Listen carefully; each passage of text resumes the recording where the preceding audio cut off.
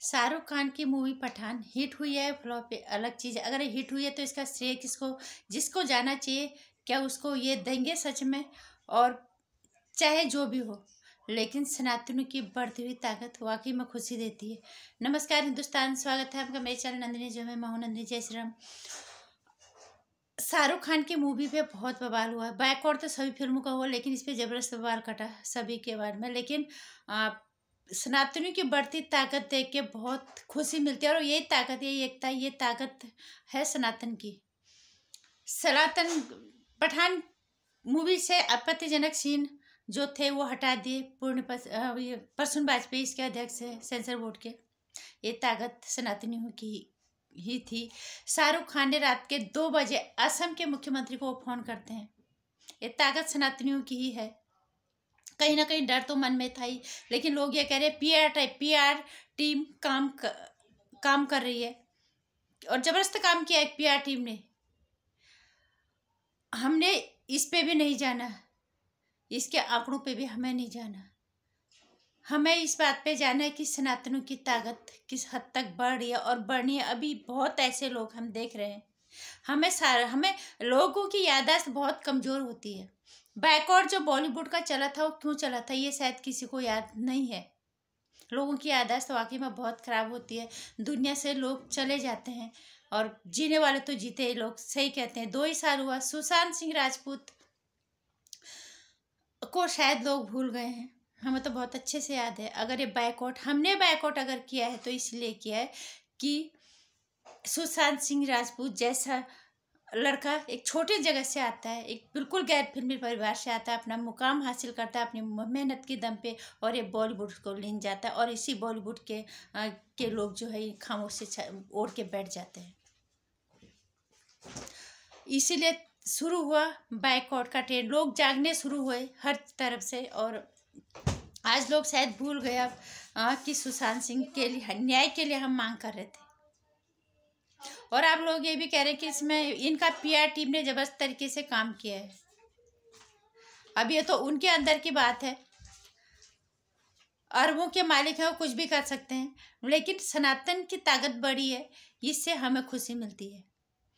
क्यों? अभी फ़िलहाल कुछ ही दिनों पहले सुनील शेट्टी ने गुहार लगाई थी उत्तर प्रदेश के मुख्यमंत्री से कि बैकवर्ड बॉलीवुड जो ट्रेंड है, ये बहुत गलत है और ये नहीं होना चाहिए। ये उन्होंने कहा और उन्होंने कहा, प्रधानमंत्री से मिल के आप ये बात कहिए।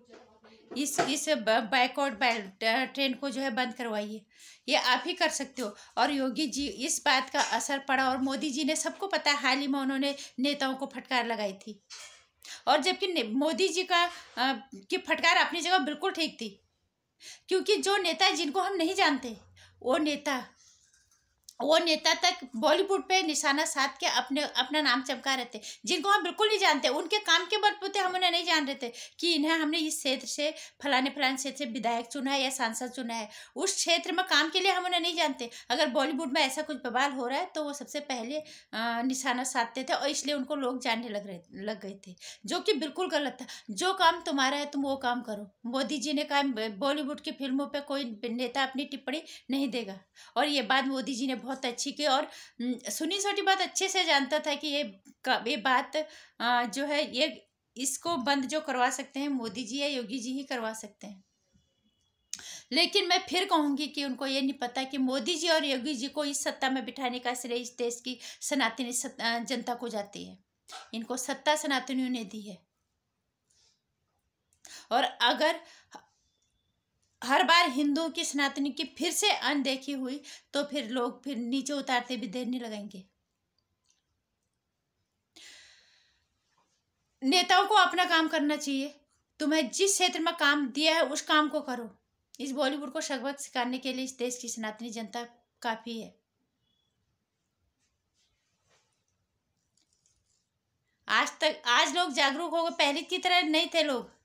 पहले हमने अंधों की तरफ़ फॉलो किया तो इन्होंने हमारा ही मज़ाक बनाया। जब इन्हें हिंदू हिंदू अगर अपने लिए आवाज़ उठाता है तो इन्हें आपत्ति होती है। अगर दूसरे धर्मों पे थोड़ा छिटा कैसे होती है तो लोग खून खराबे पे तक उतर आते हैं, गला काटने पे तक उतर आते हैं। तो उन्हें क्यों नहीं बोलते हैं? बात तो वही आ गई ना फिर। और अब बात है शाहरुख खान की फ़िल्म पठान की।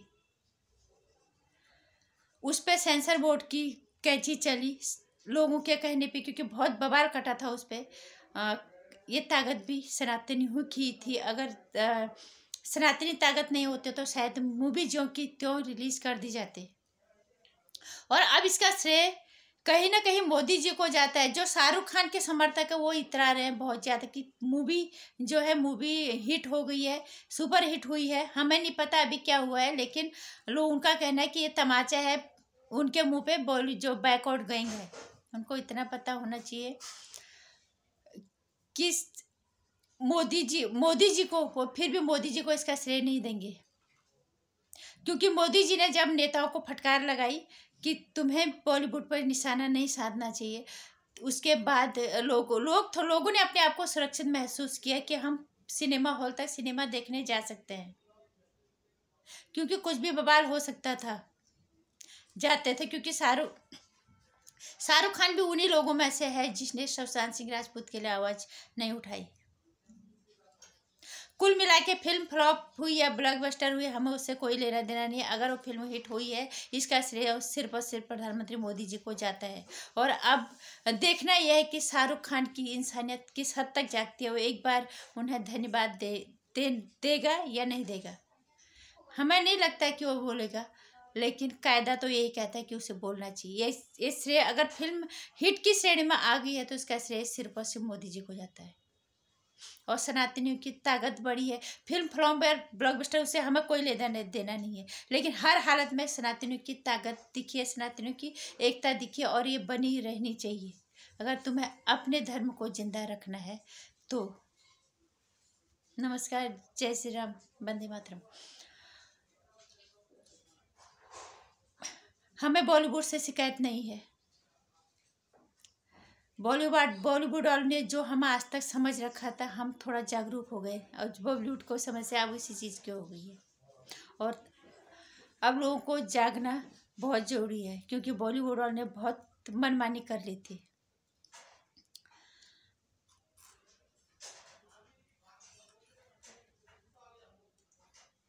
शाहरुख खान इतना बड़ा स्टार है, इसी देश की जनता ने उसे बनाया और वही आज उसी शाहरुख खान के लोग पीछे क्यों पड़ गए? ये कभी सोचा ही नहीं उन्होंने। खैर, वो सोचे या ना सोचे, हमारी जागरूकता जागी रहनी चाहिए, तभी सनातन धर्म का अस्तित्व ज़िंदा रह पाएगा। जय श्री राम। बाकी मेरे वीडियो में अगर कुछ अच्छा लगता है तो शेयर कर दीजिएगा। चैनल को सब्सक्राइब कर दीजिएगा लाइक कर दीजिएगा वीडियो को, आने वाली वीडियोज़ की जानकारी के लिए घंटे आइकन प्रेस कर दीजिए।